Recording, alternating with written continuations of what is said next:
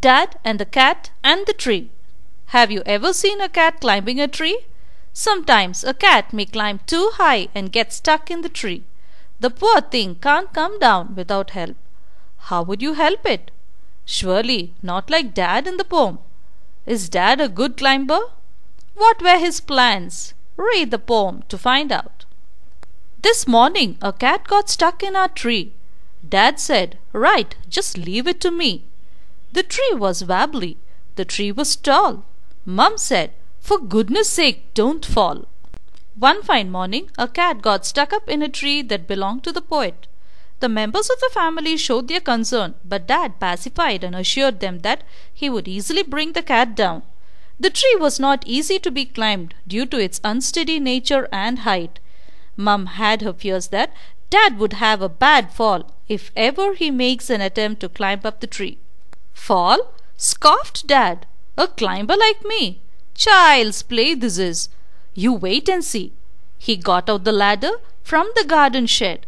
It slipped. He landed in the flower bed. Dad laughed at Mum for the weird idea of his fall. He boasted of his climbing skill and confidently mocked that the activity was a child's play. In no time, he brought a ladder to climb up the tree, but it slipped and Dad fell down in the flower bed. Never mind, said Dad, brushing the dirt off his hair and his face and his trousers and his shirt. We'll try plan B. Stand out of the way. Mum said, Don't fall again, okay? Dad was quite embarrassed at his fall. He got up instantly and brushed off the dirt from his face, hair, and clothes. He assured his family that everything was fine despite the insulting incident. Dad was firm on the stand to climb the tree and was ready to implement Plan B. He asked the members of his family to stand out of the way. But Mum had her fears that Dad would fall again. She cautioned him and told him to be more careful. Fall again? said Dad. Funny joke. Then he swung himself up on a branch. It broke. Dad landed well back on the deck. Mum said, Stop it, you'll break your neck. Father remarked that mother was unnecessarily getting scared and to think he would fall was a mere joke. He then swung up on the branch. He wanted to reach the spot where the cat was seated, but unfortunately the branch broke. Dad fell heavily on the floor from where he had climbed up. Mother now could not control herself and told him not to try again.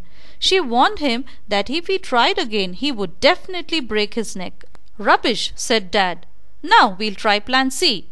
Easy as winking. To a climber like me.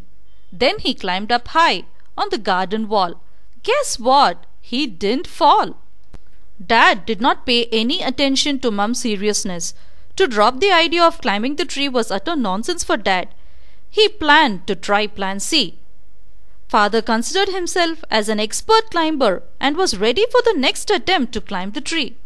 Now Dad climbed on the garden wall to take a big leap on the tree to reach the cat. Mum was afraid that he would fall, but one could not imagine that he did not fall this time.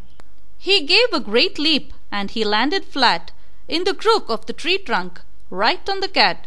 The cat gave a yell and sprang to the ground pleased as Punch to be safe and sound. Dad took a big leap and was successful. He landed exactly in the crook of the tree where the cat was seated. The cat had to face a terrible moment. She yelled as it was frightened to see Dad landing on her.